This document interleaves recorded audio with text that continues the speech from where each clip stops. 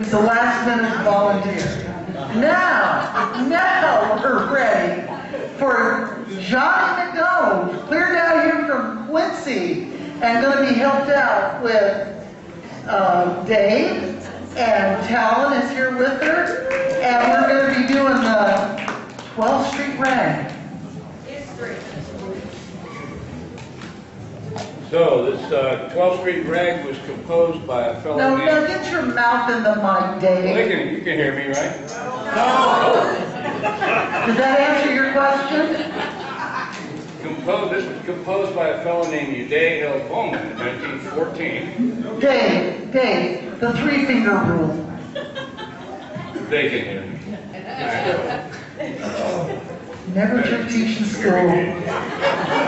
Anyway, this is one of the best uh, selling and most famous rags of the ragtime era. And uh, actually, this fellow, Euday Bowman, was known to have sold this to him for 50 bucks, but nobody told me to.